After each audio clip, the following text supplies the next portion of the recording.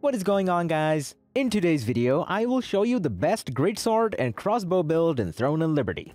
So in this guide, I will give you a quick overview of the setup, then after that, I will explain what skills and upgrades should you focus on. Then as well, we'll see what is the best gear and how to get it for both the mid-game and the full end game. And then finally, we will go over the weapon masteries, stats, your skill rotations, and even what guardians should you use. So we would be able to get the highest damage possible and much more. This setup is very unique, because by using Vital Force and Cold Warrior, we will increase our skill damage by a massive amount.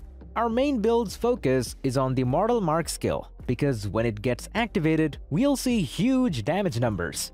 Also, normally mana regen is a problem for most crossbow users, however, with passives like Victor's Morale, you'll never have to worry about it ever again.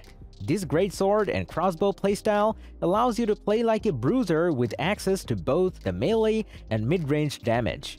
We will stack very high amounts of heavy attack chance, hit, and skill damage boost, while also having big HP and DPS numbers. If you're looking for the best and most versatile melee bruiser build, then here it is. So let's move over to the setup. For the choice of weapons, we're going with Greatsword and Crossbow. And first of all, we have our skills. So for defensive skill, we use Iron Point Parry, while for active skills, we get Da Vinci's Courage, Selfless Diffusion, Mortal Mark, Stunning Blow, Merciless Barrage, Quick Fire, Mother Nature's Protest, Ascending Slash, Guillotine Blade, Valiant Brawl, Weak Point Shot, and Death Blow. As you can see from the gameplay, I don't have all of the same skill icons on my bar. It is because the skill icons will change depending on our specialization setup.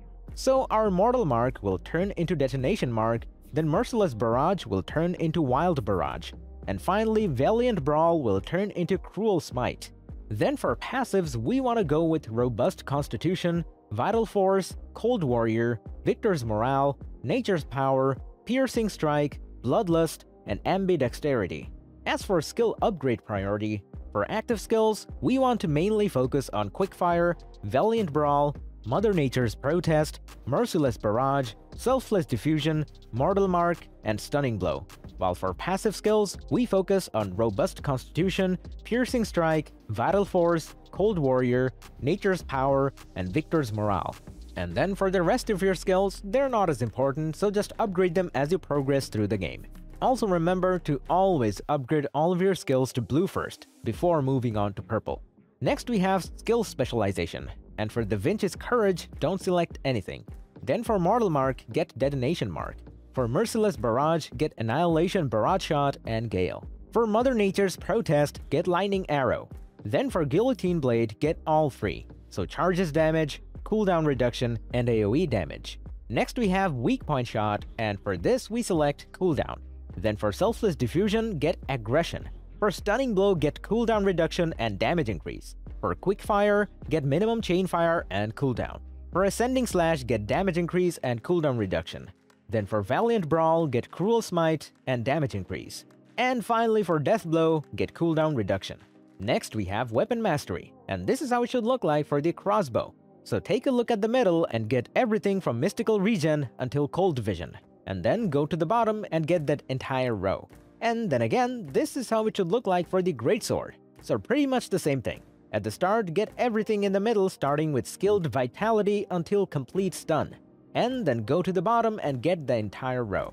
Next, let's take a look at our gear. And all of these items you can easily farm yourself. Which means that I specifically found items that only require you to grind specific spots and not use auction house or go to field bosses if you don't want to. Also, if you're looking for leveling or farming gear setup, then I recommend for you to watch my leveling guides which are already up on the channel. So first off, we're using Rex Chimaerus's crossbow, with traits like heavy attack chance, critical hit chance, and added attack speed. All gear should be at its max level, and you can get this item's crafting recipe from the Temple of Slaughter. Next we have Duke Magna's Fury Warblade, with hit chance, heavy attack chance, and critical hit chance. You can get it from Butcher's Canyon. Next we have Visor of the Resistance, with max health, melee evasion, and ranged endurance. You can get it from the Precious Blessing pouch or by defeating NPCs such as Sandworm or Arc Brawler. Next we have Supreme Devotion with mana regen, skill damage resistance, and debuff duration. You can get it from Cave of Destruction. Next we have Shadow Harvester Tunic with magic evasion, range evasion, and buff duration. You can get it from the purple armor chests or by defeating the Avalos tracker. As we're using two pieces of the death set, so we will get 14% critical damage bonus. Next we have Shadow Harvester Grips with max mana, mana regen, and magic evasion. You can get it from Temple of Slaughter. Next we have Breeches of the Executioner with magic evasion, ranged evasion, and debuff duration. You can get it from Precious Equipment Chest or by defeating the Abyssal Spectre. Next we have Soul Mirror Boots with movement speed, magic endurance, and ranged endurance. You can get it from Cursed Wasteland. Next up we have Collar of Decimation with max health, skill damage boost, and buff duration. You can get it by defeating Kowazan. Next we have Braces of the Primal King with max health, skill damage resistance, and debuff duration. You can get it from purple armor chests or from the Cave of Destruction. Next we have Violent Signet with max health, skill damage boost, and buff duration. You can get it from the Cursed Wasteland. Next we have Amber Dimensional Band with max health, skill damage boost, and buff duration. You can only get it from purple armor chests. And finally, we have Belt of the Midnight Hunt with weaken resistance, skill damage resistance, and debuff duration. Last but not least, if at this current moment you only have blue gear, then don't worry, because that gear doesn't really matter and you'll soon enough start changing it for the purple pieces. The setup I showed is the best current gear that anyone can farm, but no matter what gear you choose, this build will still work fine. But this setup is just an example of what a good items with good traits will look like. Next up, let's take a look at our gear upgrades. This game doesn't have a very typical gear progression, so by this I mean that you will have to upgrade pretty much anything you get.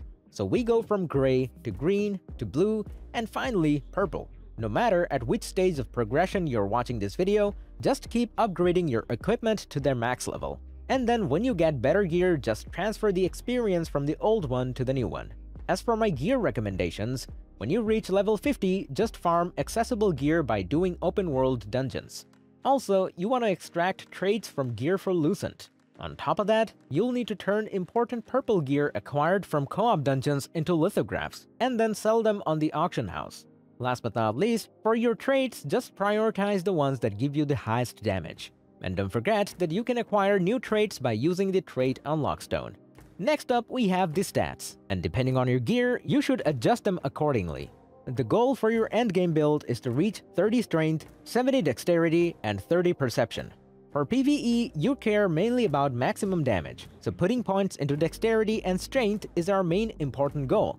Some players also prefer more to go with more strength. But the way I see it is that if you think that you don't have enough defense, then you can go with more strength. But if you're like me and want to do huge damage numbers and have maximum amount of DPS, then prioritize dexterity over strength. Next we have our Guardian choice, and this creature is a special transformation that can add offensive or defensive buffs to your characters for 30 seconds. And for our build, the best option is the Shade Revenant's Theno. This Guardian launches projectiles every second that can crit and heavy attack. This is the best Guardian for dealing damage, and for PvE, damage is all that really matters, so this is our best choice. And now finally, we have come to the gameplay. The idea behind the playstyle is to use various skills to increase your damage, mark the target, and then rotate through your burst damage and cause high explosion damage from detonation mark. Using Selfless Diffusion before Annihilation Barrage Shot will extend the duration of detonation mark and allow it to explode for even higher damage. So our main rotation is to use Da Vinci's Courage, then Cruel Smite, then Selfless Diffusion, then Mortal Mark, then Stunning Blow, then Quickfire, then Wild Barrage, then Ascending Slash, then Guillotine Blade, then Death Blow, and now we finally finish it off with Cruel Smite. And from here, we just rinse and repeat. The main goal for this combo is to get as many buffs as possible, so then when we use Selfless Diffusion, Mother Nature's Protest, and Mortal Mark. These are also our most important skills that we want to keep up pretty much 24-7. This particular rotation is more meant for boss fights as opposed to mobs in the open world, so you don't have to rotate all your buffs. Most of your damage skills are able to kill open world mobs very easily, so mainly you want to use this rotation on stronger enemies. And that's about it. So if you enjoyed this video, click like, subscribe, and comment. If you're interested in more content, then check out my channel, and I'll see you in the next one. So take it easy, peace.